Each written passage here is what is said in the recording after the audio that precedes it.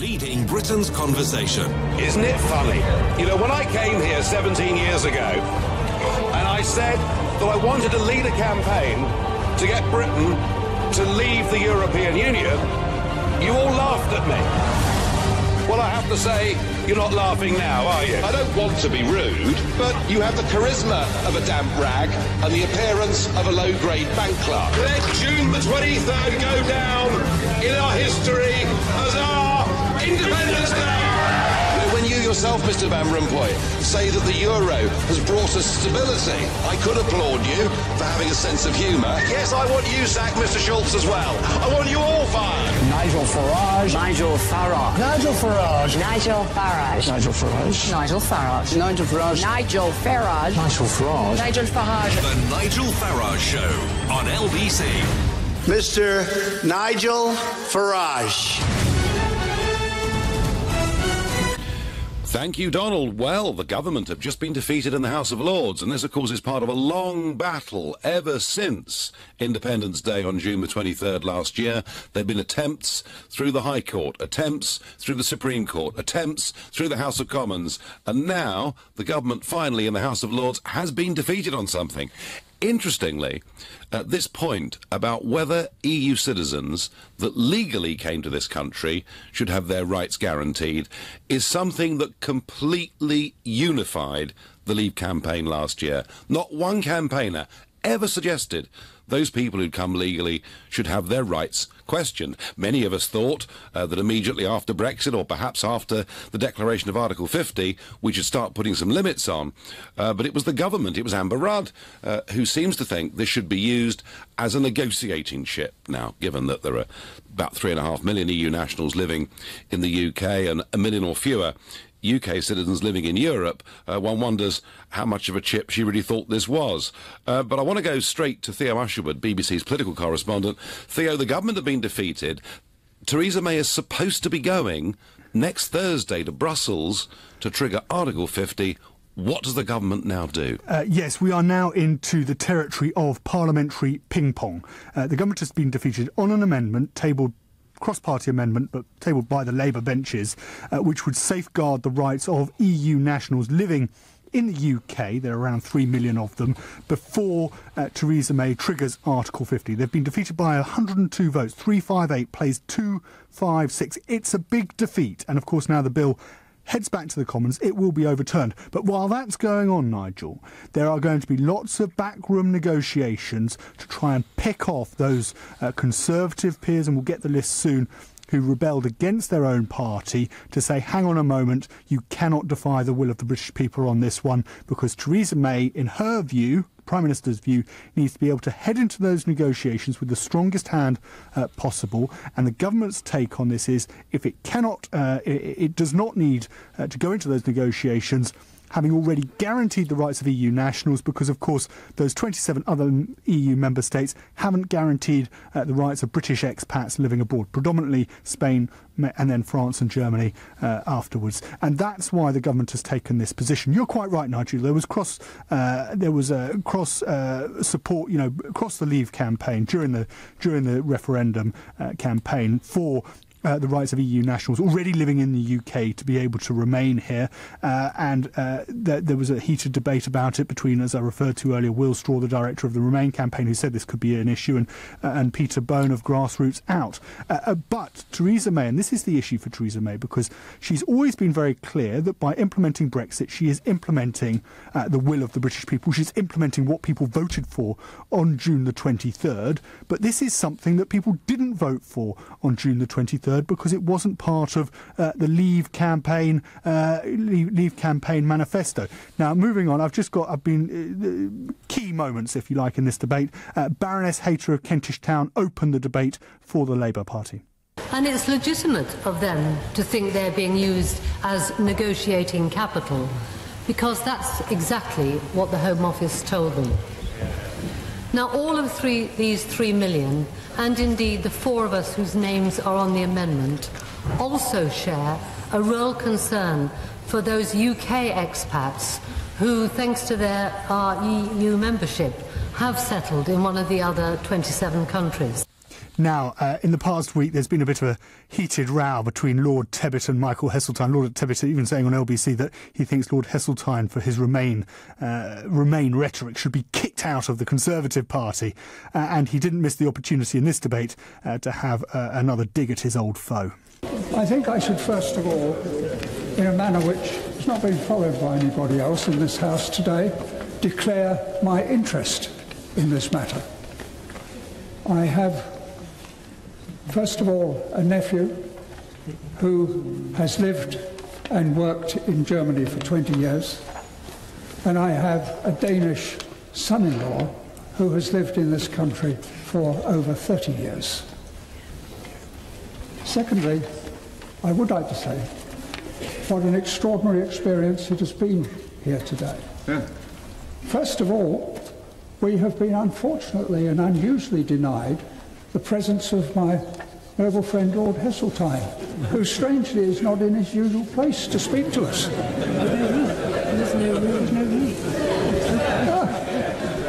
The problem for Lord Tebbit there was that Lord Heseltine was hiding away on one of the back benches on the government side of the House of Lords.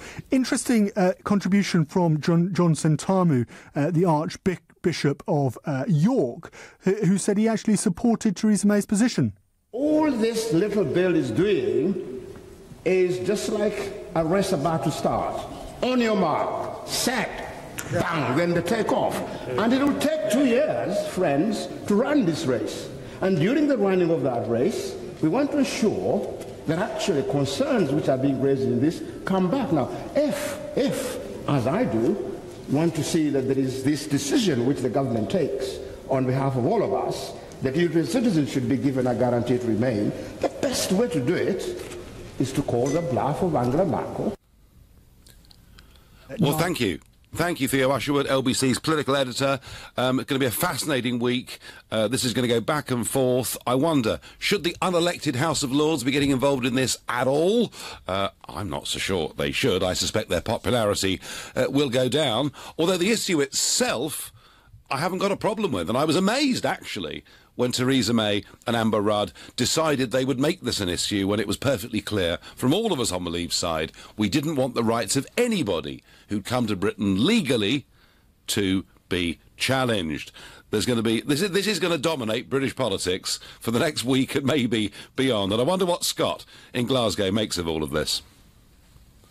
Uh, hello, Nigel. It's uh, actually an honor to hear be speaking with you. Uh, I got to see you speak in uh, Glasgow University when you were up here for the grassroots uh, movement. And uh-huh. I finally get to talk to you. You but, do? Um, yes. As you can tell, I'm not originally from Glasgow. Um, I am American. Um, I've been living in Britain for almost five years now, and I've gone through the immigration policy, and I don't see what all the fuss is about. Obviously, 30, 40 years ago, they had some kind of a policy if a German or a French person would want to, you know, immigrate to Britain. Yeah. Why can't they just bring that back? Or, you know, if you've been living here legally, you came here legally, you you hold employment, you hold residence, you know, why can't they just have you fill out a simple form, apply for indefinite leave to remain, and that's it. You get to stay. That's what I had to do when I first came here, and you know, and now I'm a citizen. I applied for citizenship. I don't see what all the fuss is about. I think they're they're just making too big of a deal about it when it could be something very simple and something quick. And I don't agree that the House of the Lords should be getting involved in it. I mean, do they get involved? I don't think they really had a say in my immigration status, you know, or my application. Well, the House of Lords, I mean, the House of Lords normally, Scott, you know, what they do, there's a thing called the Salisbury Convention, and that mm-hmm. says that if, if a government is elected on a manifesto, they will not attempt to block that in the House of Lords. And of course, what they're arguing today is that this referendum result wasn't in, in any manifesto, um, and so they are free to speak. But it kind of does feel a little bit, doesn't it? Although a sort of unelected, appointed in most cases by Tony Blair and David Cameron class of people, um, are meddling and trying to bind the government's hands. And I suspect, Scott, they'll be rather less popular uh, this time next week than they are now, don't you? Well, I mean, from what I've been hearing, and they've never been that popular to begin with, especially after, you know, their little what's the word I'm looking for? Uh, their their office, their their time in office. A lot, there's a lot of different mixed emotions about them, and, and this was the whole uh, idea with the Brexit was if you look at the messengers, you know, you don't really need to listen to the the actual message. You know, when you have Wall Street putting their, you know, their uh, comments in, you have Tony Blair, you have David Cameron, you have Sure. you know, all of a sudden Obama coming in. Sure, And it was the establishment, Scott, wasn't it? It was Yeah, the exactly. establishment And- versus the people. You know, And they've always, and everybody always knows that they don't have our best interest at heart. Everybody always knows that. So why this time do they? Why this time would you side with the establishment when everybody was anti-establishment? Everybody always said they're against the little people, and now the little people want to stand by them this time. What makes this time so different? And I, I didn't really need to hear too many of the arguments. I looked into the European Union when I came here. I couldn't understand it. Not that I was, you know, too ignorant. Yeah, I just didn't understand why Britain would have joined it to begin with. You know, Well, we joined it, Scott. We joined it, Scott, because we were told a series of great big fibs.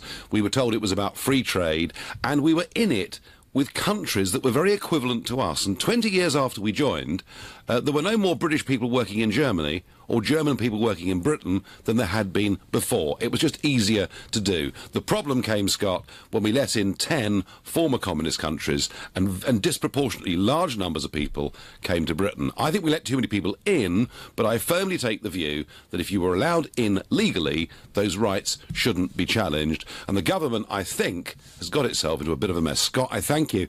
Um, I wonder what Will in Evesham makes of, makes of tonight's debacle. Nigel. Yeah, I, I think it's absolutely right. That's, it, that's exactly what the Lords should, should, should, should be doing.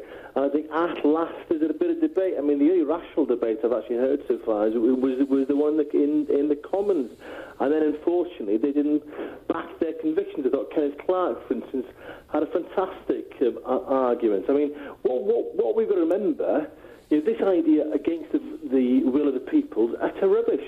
I mean, you know, I remember that the you stood in front of that poster, you know, that um, totally mis- misleading poster. Do I? Oh, no, it was a factual poster, Will. It was a photograph. But it, but it was a misrepresentation, Nigel. Just, I mean, do I need to mention the word red bus? You know, with the infamous 350 million, which you then the very next day said no, that was a mistake. At the end of the day, people were totally misled. Do you know what, Will? We've been misled for nearly half a century on the true intentions of the European Union. Uh, Will, you and I not going to agree on this one, but I thank you. Uh, your texts and tweets coming through. Delighted at the news. The government now has to guarantee the rights of EU nationals in the UK. We're better together, says Jack. Well, Jack, we can cooperate with each other, but the question is, we're not going to have a continuance of the free movement of people. Of that, uh, I think the British people spoke very clearly. Um, the government are in a mess, uh, and the House of Lords, in my view, have interfered a bit too much. Uh, the unelected so-called Lords are doing the EU's job for them. They'll be rubbing their hands with glee tonight in Brussels. What mugs we are. Now that Parliament has revealed some of our cards, surely the EU should reciprocate. Eddie. Eddie, you make a very good point. You're listening to the Nigel Farage Show here on LBC. It's 7.15. This is LBC, the Nigel Farage Show, live from New York. Call 0345 6060 973. Text 84850. Tweet at LBC using the hashtag Farage on LBC. So the government have been defeated in the House of Lords because the Lords have said that the rights of people from the European Union who came to Britain should be guaranteed, whereas Amber Rudd, the Home Secretary, had wanted this to be a negotiating chip when they go to Brussels. Here's the problem. The problem is the European summit is on the 9th and 10th of March. I know because I'm going to be there. And the plan was that the Prime Minister would trigger Article 50 next Thursday evening. But she's just lost a vote in the House of Lords. Do we go for a game of ping pong here, where it goes back to the Commons and then back to the Lords, or does the government simply have to concede defeat on this? Uh, all that uh, we'll find out soon, I guess. Uh, more texts and tweets. We can't trust the Tories, Nigel. Article 50 should have been invoked straight after the Brexit vote. I smell a rat says Tom in Basingstoke.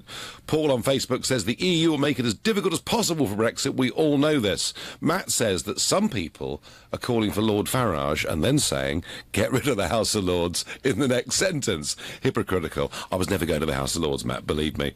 Uh, Callum says, why should other EU countries guarantee our citizens' rights? Well, I tell you what, Callum, they will. I'll tell you why. Because the Brits that live in France, the Brits that live on the Costa del Sol contribute a huge amount to that economy. And when they get medical care in the hospitals, do you know what? The British government actually pays the bill. Which doesn't happen with other EU countries when it's the other way round. Alan in Edgware, should the rights of EU citizens be guaranteed? Has the House of Lords got this one right, uh, Elam? To be honest, they haven't. Uh, Right. The reason is, I mean, I want to quote an example, my example. What happened was, um, I married, um, if someone comes in, say, from any of the EU European countries, and they marry a non EU citizen, those non EU citizens are guaranteed benefits immediately. I married an American girl, ironically enough, from New York. Yeah. We had to fork out thousands over five years. She had to take a test. Fair enough. We're not complaining, but why is the, the land not, the, the- you know, what the old cliche is? It's a boring cliche, but a level playing field. We know someone also married an American lady recently. What happened was he couldn't marry her. They wouldn't allow her to stay. He popped along to the German embassy because his grandfather's German, got a German passport, and hey presto, she was hmm. on benefits hmm. before you know it. Well, that's because- I've had a company. I've, I've just had. I, I, I. I work in a profession that's been decimated by another organisation that pays lesser tax of transfer, pays lesser tax in, uh, to Holland, eighty percent less than what they would pay to HMRC. So you know, it's, you've been shunted on both fronts. What about rights? That they should stick up for their three hundred pound a day that they take for to British subjects and British citizens that live in this country. The rights should be equal across the board. If they marry fee- people from outside, One of the EU, points. they One of the points. One of the points of the campaign. We are.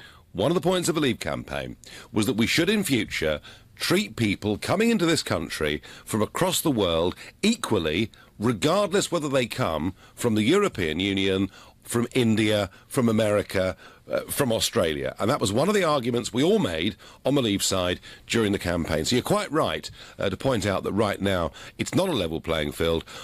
All I would say to you is that whilst it seems outrageous to many, uh, that some have come in uh, from the European Union and very quickly been able uh, to uh, claim all sorts of in-work benefits, get their children educated, whatever it may be. The point is that when those people came to the United Kingdom, legally they were entitled to do that. So surely we can't change it retrospectively, can we? Well, um, I mean, when Brexit, please God, will get through, then everyone should be subject to the same across the board. We're just asking for everybody to be treated equally. I, as a British citizen, a British subject, has put tens of thousands of pounds into the into HMRC Yep. in the last 26 years. Have been treated appallingly, but we have a, a, a little kid now, a three, four-year-old kid, thank God. Um, but you know, she was almost threatened with deportation if you didn't have this, if you didn't have that mm. criteria, and everyone else. Someone can mar- c- come in, doesn't speak a word of English from East Eastern, uh, anywhere in Europe, uh, uh, and then marry somebody, say, from the Middle East or from, and no problem. There's no problem. There's no problem with Longer term, longer term, we've got to sort this out. Longer term, we've got to sort, sort this out. But in the space of the next week, the government have got to sort this out. Um, and thank you for your call and your texts and tweets. It's very unlikely. But what happens if the EU refuses to let our citizens continue to live in Europe after we have granted their citizens the right to live here? asked Graham. Graham, they would look. Uh, I think they would become virtually international pariahs. How ironic it would be if Chancellor Merkel, having said, as many of you that want to come from North Africa can, would say that a retired British couple uh, living on the Costa del Sol and spending their pension couldn't be there. It would look ridiculous, and you know what? It ain't going to happen. Nigel, sorry to disagree with you, but all EU citizens who arrived after the referendum results must leave. Surely they knew the score when they arrived, says Anton. Well, Anton, I actually think there needs to be a cut-off at some point. Goodness me, it could happen, couldn't it, next week? Theresa May could go next week um, on the 9th of March and say to people in Brussels, now look, huge numbers have come to our country, but actually we're going to guarantee all of all of their rights, but hereafter we're going to be more selective. I wonder whether she will. I wonder whether she'll be able to trigger Article 50 if this dispute hasn't been sorted. I wonder what Daniel in Northampton makes of this row. Nigel, I'm absolutely furious that this evening an unelected House of Lords has done this not to protect the rights of EU citizens, but to give Theresa May and her government an absolute kicking. Mm, mm, mm. That is what they've. That's what they've sought to do. This isn't about giving rights to EU citizens. Of course, I believe that they should. I voted to leave, and Yep. I believe that EU citizens' rights should be protected in Britain, as well as British expats being treated uh, the same way in the EU after Yes. you leave. So you agree, Daniel, with you agree with what they voted for, but not the fact they've done it as an unelected House of Lords. this was not the time or place for this. There is, we, we are about, hopefully, to embark on a two-year negotiation period, and as the government have said several times, we need to go into those negotiations with our cards to our chest, so that we get the best deal for Brit- uh, Britain post Brexit. And what the House of Lords have done is effectively weakened our negotiating hand. They have potentially delayed the deadline for triggering Brexit because that's all this 133 words is actually about. Yes. Is to trigger, is to start fire the starting gun to trigger Brexit and then start the negotiations. What I'm concerned about is that the House of Lords are going to continue to do this and to continue to defy the will of the people. Now, you yourself campaigned for, for many years against an unelected bureaucratic machine, and I'm afraid what's happened tonight is we have been attacked, essentially, by an even older unelected bureaucratic machine. Yep. Yep. Daniel, you make the point beautifully. Thank you. And on Facebook, John agrees. He says the Lords and their traditions are outdated and pathetic in these modern times. Mark simply says, abolish the House of Lords. They serve no purpose. Well, actually, Mark, they have served a bit of a purpose tonight, and the government has got a big headache. I wonder what Matthew and Heathrow makes of all of this. Have the House of Lords done the right thing, Matthew, or should they have kept out of it? Well, no, I think it's right, Nigel, that House of Lords uh, basically uh, have done the right thing, that they shouldn't be using humans as bargaining chips. I mean, the people are now living and working legally in this country, in and we need them for the infrastructure and the hospitals and everything. So, you know, we've just got to unilaterally say they are going to stay. And Theresa May, unfortunately, has got it wrong again. I mean, she's Yes, I mean, in reality, Matthew, in reality, Matthew, she was never going to use this bargaining chip anyway, was she? Well, that's right, and I think it's, she's got it wrong, and I think uh, you're possibly the prime minister in waiting because I think things the way. I mean, Theresa May is trying to copy what uh, you're saying about Brexit, but she's still getting it wrong. And I wonder, are, are you actually ready to rejoin the Conservative Party and maybe take over the leadership in the future? Uh, no, no. no, I'm not Matthew at all. I don't really like the Conservative Party very much. I don't trust them very much. I mean, I mean, it, it's very difficult to trust them, and, and particularly, I mean, this Prime Minister who says these magnificent things when she gives her high vaunting speeches, but I saw it all when she was Home Secretary. She didn't deliver. The irony here, Matthew, is you're right in one sense. They've tried to sort of take my agenda, UKIP's agenda, and yet they've made a terrible mistake here. Because nobody, nobody, me, anybody else on the Leave campaign, ever said the rights of these people would be threatened. You know, a nation that retrospectively changes people's rights, I think you're frankly on a course to tyranny if you behave like that. Much as I disagree, Matthew, with the numbers that came, I think Theresa May's got herself in a mess. I hate the fact the House of Lords uh, may well, in principle, have done the right thing, but I don't like their meddling, Matthew. And once this is all over, Matthew, I think the House of Lords has to go. What do you think? Well, no, I, I think, I mean, they're serving their, their purpose. I mean, ultimately, Parliament is going to have their say, but, uh, I mean, uh, what Theresa May was trying to stop them have their say. And, uh, I mean, I think possibly then, if you want to join the Conservatives, maybe you've got to go for a coalition with. Uh, Liberal Democrats. I mean, they're, they're all. Well, who knows, Matthew, what the future holds? I don't, you don't. You're listening to the Nigel Farage Show exclusively here on LBC, live from New York. It's 7.30 and time for the news with Rupert Bartier. This is LBC, the Nigel Farage Show, live from New York. Call 0345 6060 973. Text 84850. Tweet at LBC using the hashtag Farage on LBC. So the government have been beaten in the House of Lords, the Lords saying that the rights of EU citizens who have come here legally should be protected and should not be a bargaining chip. And it gives the government a bit of a crisis because Theresa May intends to trigger Article 50 next Thursday. So, does she accept what the House of Lords has said? Does she take it back to the House of Commons? Do we get a game of parliamentary ping pong? We will see. Uh, meanwhile, uh, we talked last night um, about Trump's up- upcoming speech.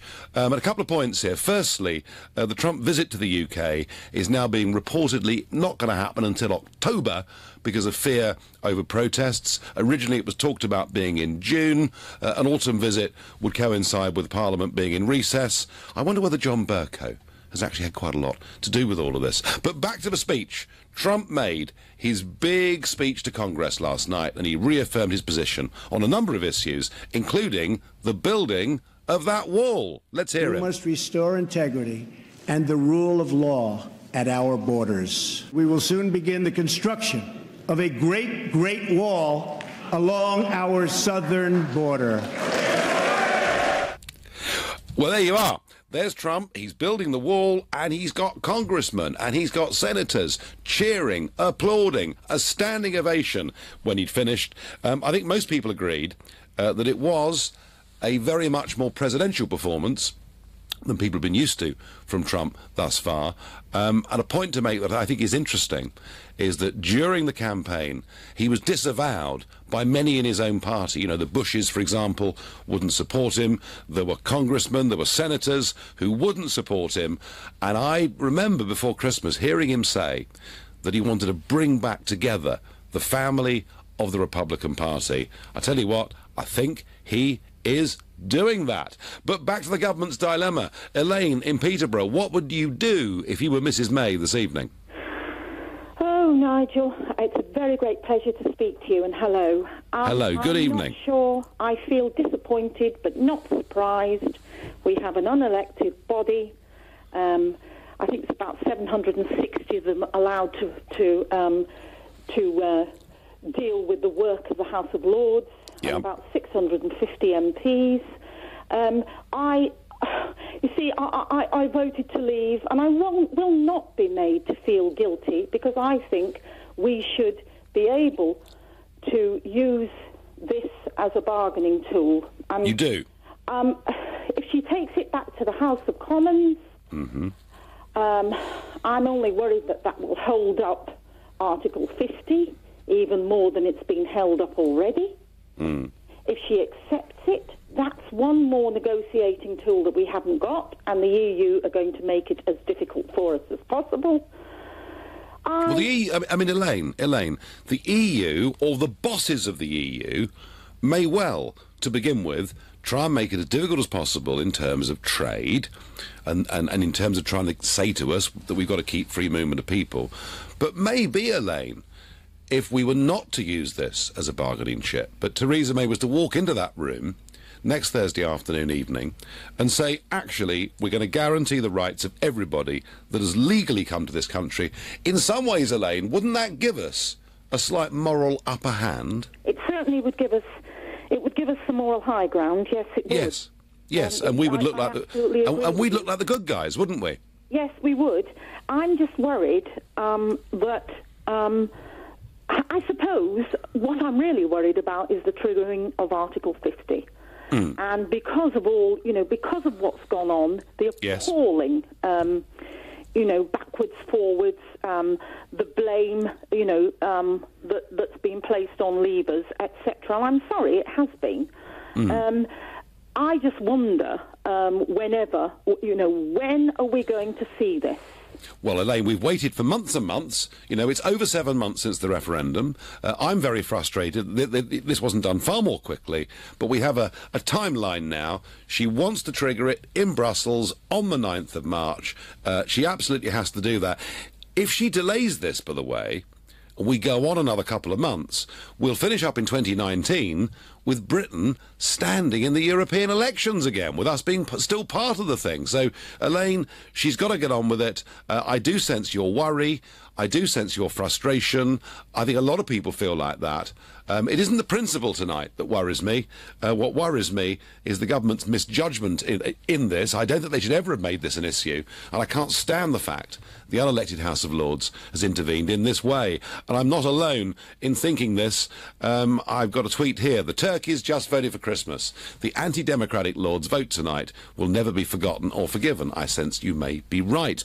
I want to know what Nigel Farage would replace the House of Lords with if this gets to him. Daniel from Reading. Well, it did, Daniel. Um, and I think we are going to have to have ultimately some kind of Senate, but, but uh, with a lot of, of genuine expert committees because the point about the House of Lords is that it's a reforming chamber. Its job is to look at legislation and say to governments, you may have got this wrong, think again. Separate debate, I know, to what we're talking about tonight, but relevant nonetheless. George in Walthamstow, does Mrs May have to give way on this one? Well, um, yeah, probably. Um, I've got three quick things to say. First of all, it's a non-issue anyway. No one has ever spoken about repatriation of, any, of anybody, so it's really a non-issue. Agreed. Um, but what's happened? Well, what we should do is we should avoid a ping-pong game. Um, and if this is the best that people who are blocking Brexit can come up with, then it's not too bad for us, us Brexiteers, really. I think you should in- incorporate it and then press the button.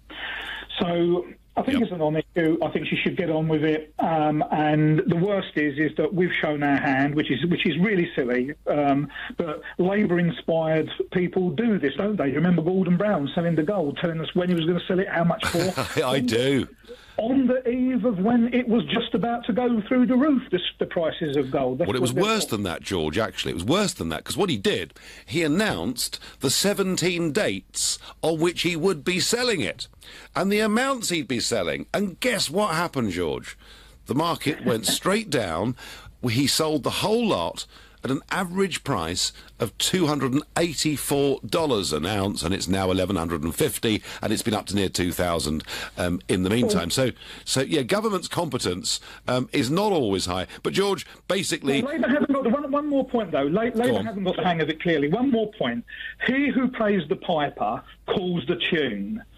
Neil Kinnock is paid £1,700 a week by the European Union in the form of a platinum, no, it's even better than platinum pension. So, you know, is he not conflicted? And does this not is this not another example why we have to chase, uh, uh, we have to change the, the upper house uh, a Actually, little bit more actually, George, the upper house is an extremely Europhile place. There are plenty of people in that house uh, who have EU pensions who never declare them. As, as, as, as a matter of interest when they get up to speak. Um, and the rest of the House of Lords is basically the friends of the establishment, the friends of Tony Blair, the friends of David Cameron. Uh, yes, an upper chamber of some kind to review legislation, to bring in expertise, is of course a good thing. Uh, but I have a feeling that now uh, what we've got is so far removed, actually, from ordinary Britain uh, that, it, that it doesn't serve any purpose, George, does it? Uh, No, it doesn't. I mean, I agree with you. It needs some kind of Senate arrangement with, with, with some some special. Some, there's, there's a better way of getting know-how, savvy, and specialist knowledge into the parliamentary process, and it's not through the Lords. It's through specialist committees and people who really know. If they keep the House of Lords, can't you get in there and do what you did in the European Union? What, you mean have some fun, make some points, upset everybody, George? Is that what you're saying I should do? Get, get get in there and change it.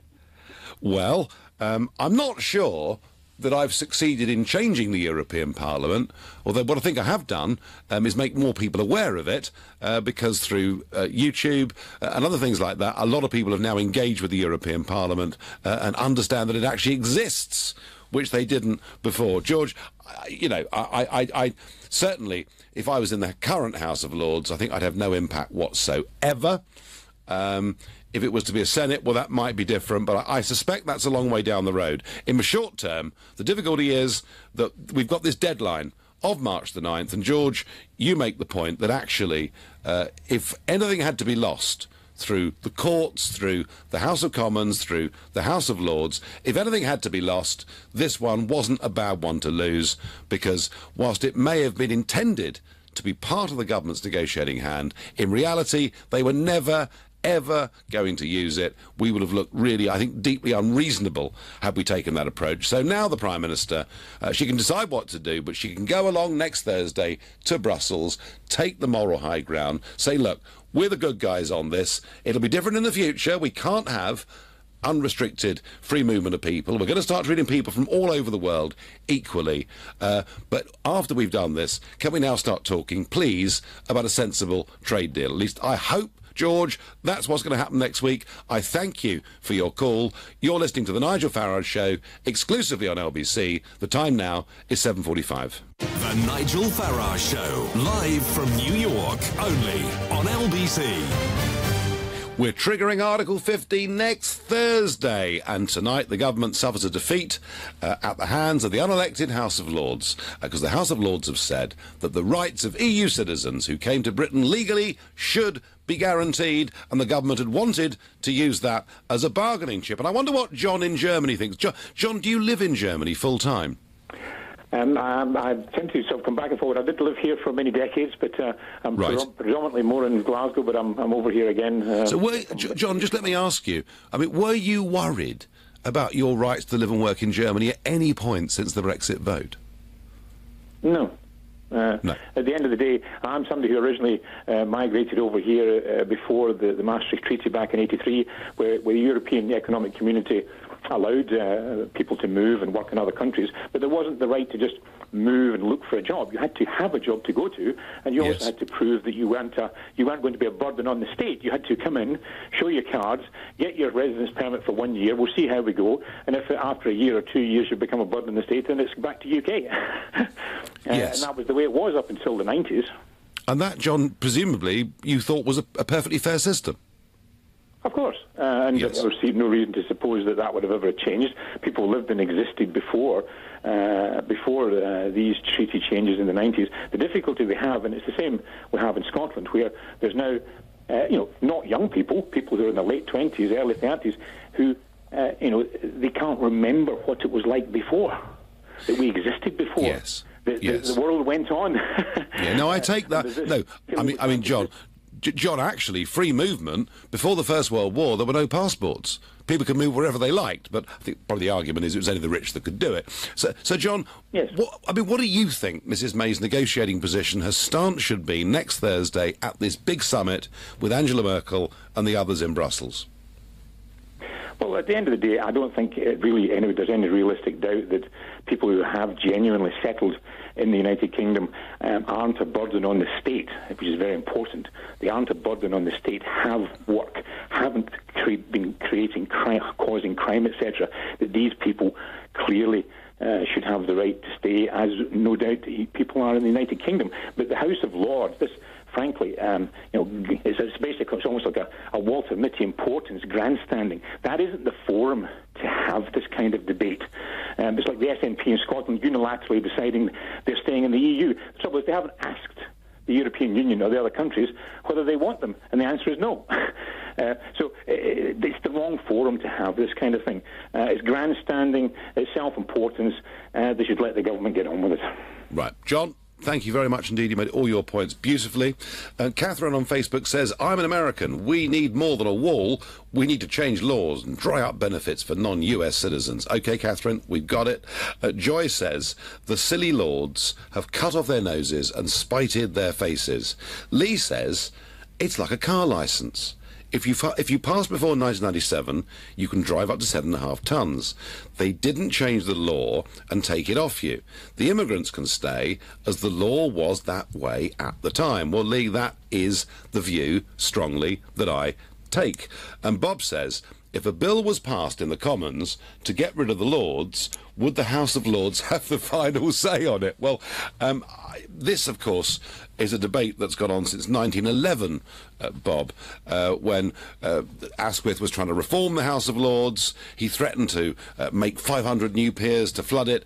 Um, ultimately, uh, to change the House of Lords, to get rid of the House of Lords as it is, is going to need a government with a general election majority, uh, possibly uh, backed up by a referendum. I'd love to see a referendum on should we have, you know, Peter Mandelson and co. sitting in the House of Lords. That would be great, great sport. Um, and I'm not sure.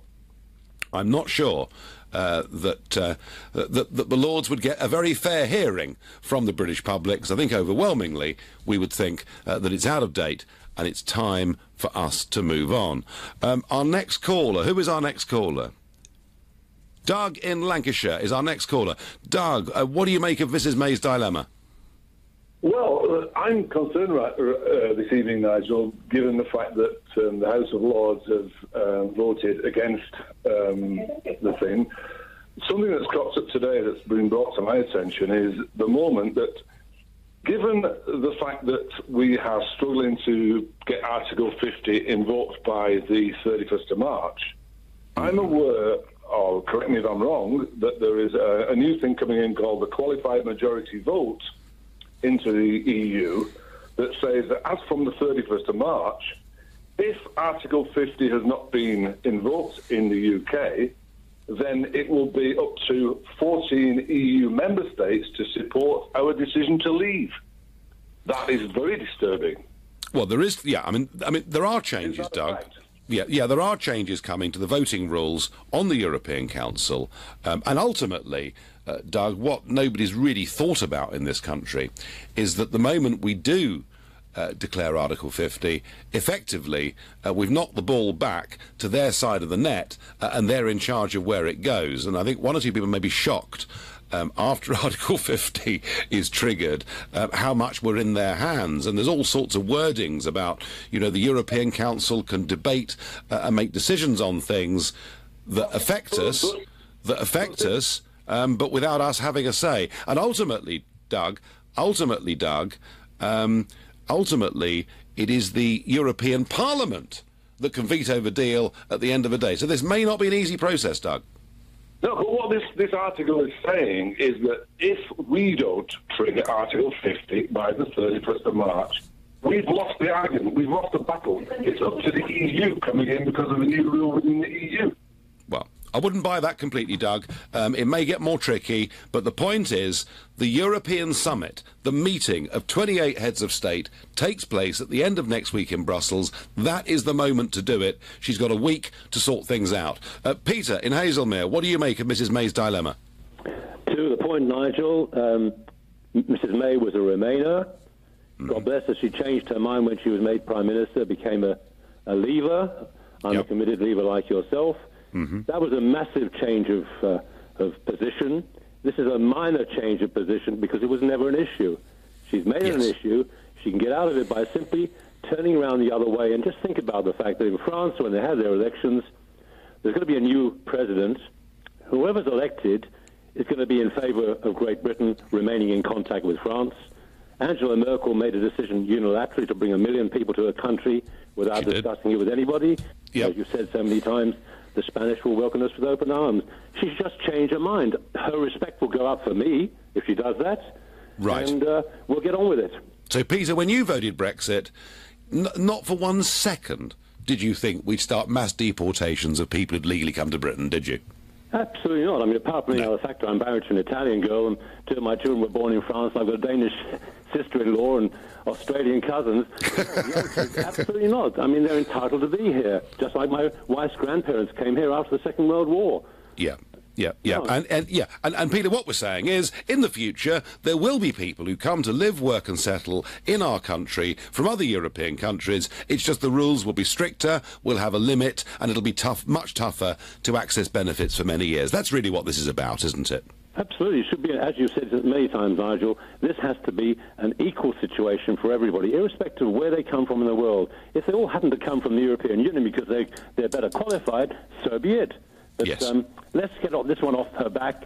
Come on, Theresa, make a decision. Yeah, no, I, I, Like you did I, before, change your mind. Yeah, no, I- Peter, I agree with you absolutely, completely on all the points you made on that call, and I wonder what Daniel in Richmond thinks.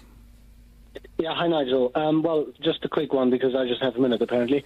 Um, I am German. I came to this country 10 years ago. My wife is born in Pakistan, so also an immigrant. We both voted for Brexit. Um, I was on the, part of the Liberal Party back in Germany five years ago, which I left because I was against the euro. I saw it failing. It's a macroeconomic disaster. Um, if anything, there should be North and South euro, uh, if anything. Um, I don't know if you agree on that. Um, It's a bit late for that, isn't it, really? it, it, it is, but um, um, just to let you know, I think it's a terrible um, timing in the sense that we're, we're losing, and I'm very much pro Brexit, and we have a very good position, and we're a great country. Um, you know, we need to be be great again. Um, but um, it's terrible timing from the House of Lords. That should have been, and I never was fearful of being deported uh, further down the line. So I, I think this is just a big media fuss. We're just scaring tactics. Uh, Yeah, no, I think you're right.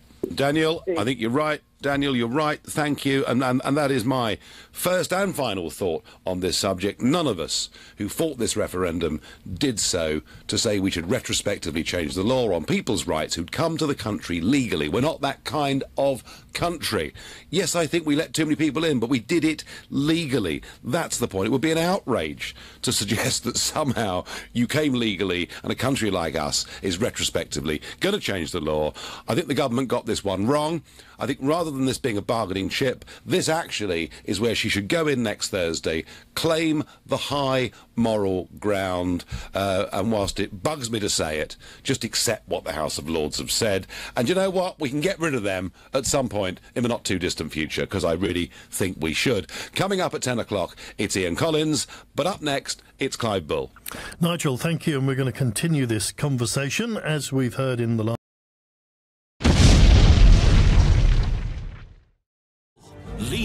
Britain's conversation. Isn't it funny?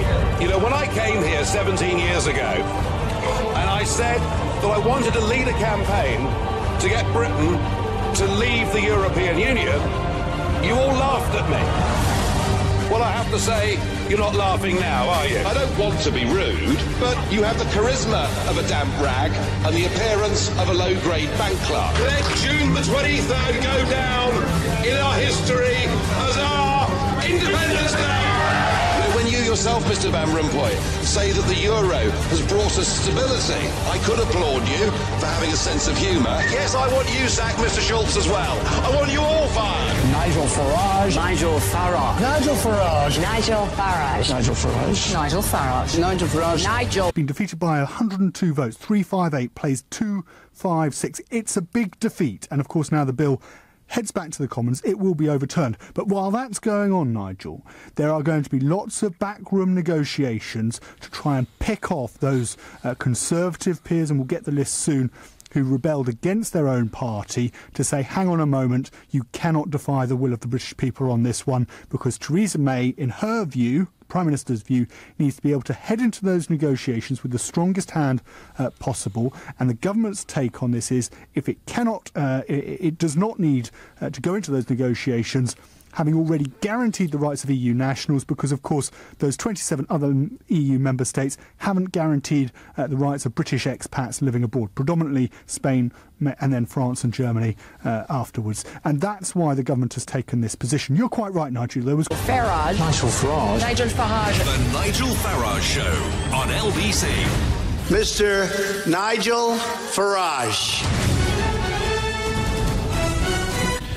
Thank you, Donald. Well, the government have just been defeated in the House of Lords, and this, of course, is part of a long battle ever since Independence Day on June the 23rd last year. There have been attempts through the High Court, attempts through the Supreme Court, attempts through the House of Commons, and now the government finally in the House of Lords has been defeated on something.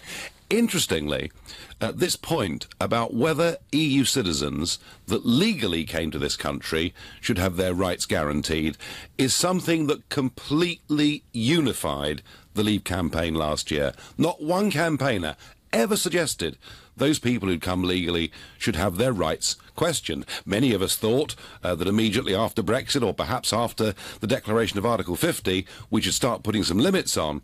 Uh, but it was the government, it was Amber Rudd, uh, who seems to think this should be used as a negotiating chip now, given that there are about three and a half million EU nationals living in the UK and a million or fewer UK citizens living in Europe, uh, one wonders how much of a chip she really thought this was.